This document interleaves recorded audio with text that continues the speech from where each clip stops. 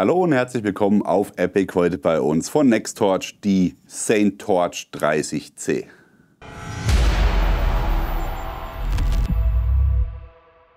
Wir haben es euch kurz angeteasert auf der Enforce Tech schon mal, was es an Neuheiten geben wird dieses Jahr bei Nextorch. Und das ist einiges, seht ihr hier zum Teil schon hinter mir hängen. Kommt auch demnächst hier bei uns im Studio. Wir starten aber in die neue Saison mit der Saint Torch 30C. Die Saint Torch-Serie von Nextorch kennt ihr bestimmt schon. Wir haben ja schon das ein oder andere Video gemacht. Das sind immer riesige Klopper mit amtlich Licht. Jetzt hat man gesagt, wir machen nochmal eine Kompaktversion, die Saint Torch 30C. Natürlich nicht mit ganz so viel Leistung wie die anderen Lampen, aber immer noch ordentliche 15.000 Ansilumen und eben halt auch in einem Format, wo man sagt, das ist tatsächlich auch gerade im Behördenbereich, sei es jetzt äh, bei der Polizei, sei es bei der Feuerwehr, sei es beim ähm, Rettungsdienst oder wo auch immer man einen Suchscheinwerfer in der kompakten Form braucht, denke ich, das ist ein sehr, sehr gutes Mittel der Wahl, ohne eben den Nutzer oder Träger zu sehr zu belasten, was das Gewicht angeht und was auch die Kompaktheit angeht. Die Saintorch 30C ist aus hochwertigem Flugzeugaluminium gefertigt. Sie wiegt mit Batterie 787 Gramm. Der Akku ist hier quasi aufgeschraubt, wie man das auch von den anderen Saint-Torch-Lampen kennt, kann dann auch als Powerbank genutzt werden. Das heißt, ihr habt hier einen USB-Anschluss und einen USB-C-Anschluss und ihr könnt hier den Akku auch ausschalten. Das heißt, im Lock-Modus könnt ihr quasi hier den äh, Akku einmal ausschalten und habt dann aber hier eben die Möglichkeit mit USB-C zu laden oder eben andere Geräte wie euer Smartphone über USB zu laden. Ja, gehen wir mal kurz über die Dimensionen. Ihr habt hier eine Gesamtlänge von 202 mm, der Kopfdurchmesser ist 82 mm. Die Bedienung ist wieder mal denkbar einfach, wie man sich das auch bei Nextorch wünscht. Ihr habt hier zwei verschiedene Schalter. Das heißt, ihr habt einen Kurzschalter und einen Langschalter, nenne ich es jetzt einfach mal.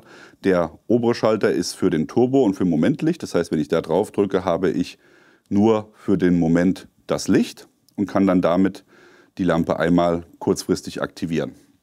Der hintere Schalter ist dann für die Dauerlichtmodi. Das heißt, wenn ich hier drauf drücke, habe ich hier den High-Modus. Und wenn ich jetzt den Taster andrücke, also nicht durchdrücke, sondern wirklich nur antippe, wechsle ich dann hier durch die Modi, gehe in den Mid-Modi, dann in den Low-Modi und zum Schluss nochmal in den Echo-Modus. Wenn ich jetzt nochmal drücke, habe ich Strobe. Das ist auch das Einzige, wo ich sage, bräuchte man jetzt nicht hier bei dem, bei dem Suchscheinwerfer, ähm, ist halt mit dabei.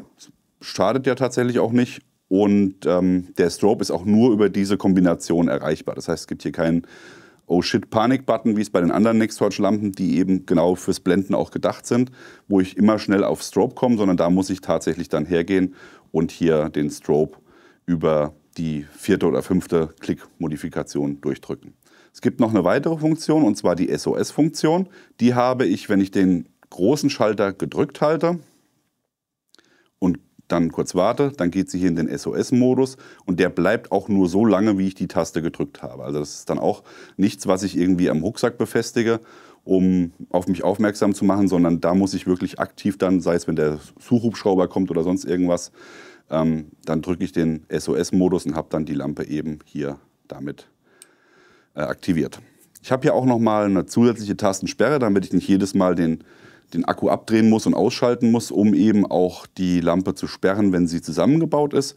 Dafür halte ich, äh, beziehungsweise mache ich einen Doppelklick auf den kleinen Taster vorne und dadurch ist dann die Lampe gesperrt und genauso lässt es sich auch wieder entsperren. Kurzer Doppelklick und dann ist die Lampe wieder aktiv.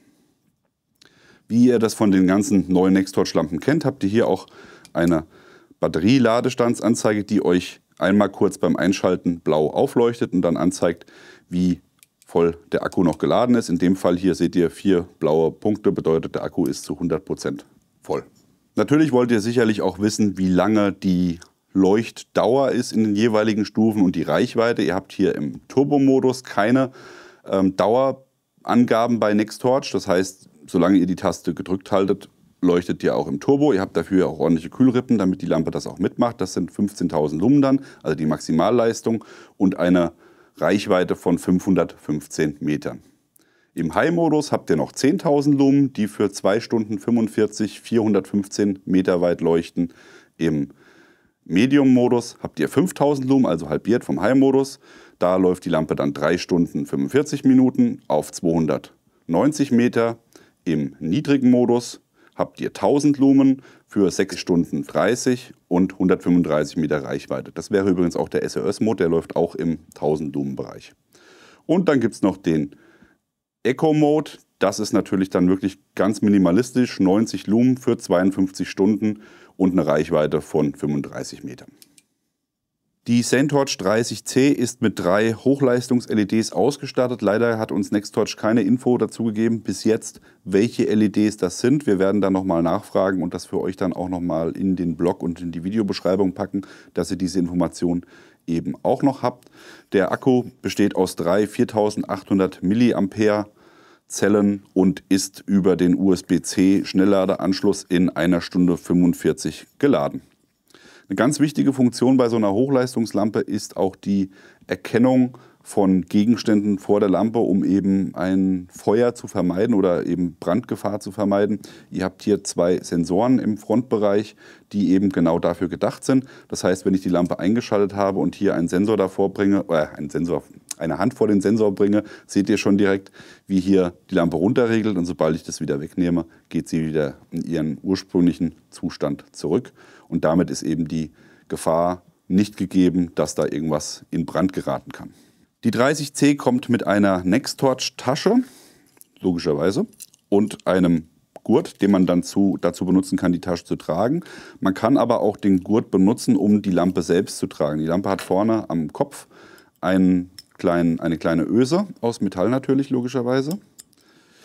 Und im hinteren Bereich hat sie hier drei verschiedene Möglichkeiten, den Riemen anzubringen. Die Lampe ist übrigens auch Tailstand, das heißt, sie kann auch auf ihrem Hinterteil stehen. Und so hätte ich eben die Möglichkeit, auch die Lampe dann einzuhängen. Am sonstigen Zubehör hat man dazu gepackt noch einmal natürlich die Bedienungsanleitung. Die findet ihr aber auch immer noch mal online. Im Fall der Fälle, falls ihr keine Freunde von Papier seid.